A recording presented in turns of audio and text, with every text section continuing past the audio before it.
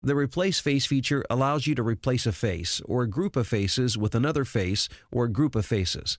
This tool is ideal when you have to make a change to an imported model.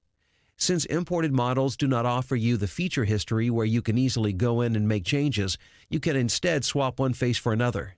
Here's an example. I have an imported model with a curved upper face. I also have a surface that represents a new shape I wish to use for this imported model. I'll click the Replace Face icon on the Surfaces toolbar. The target face selections will be the ones I wish to remove. They include the uppermost face along with the fillet faces around the edges.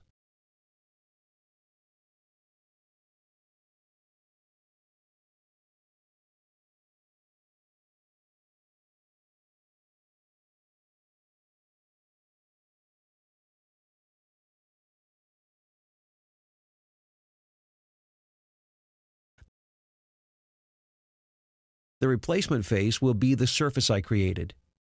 When I click OK, the faces are successfully replaced.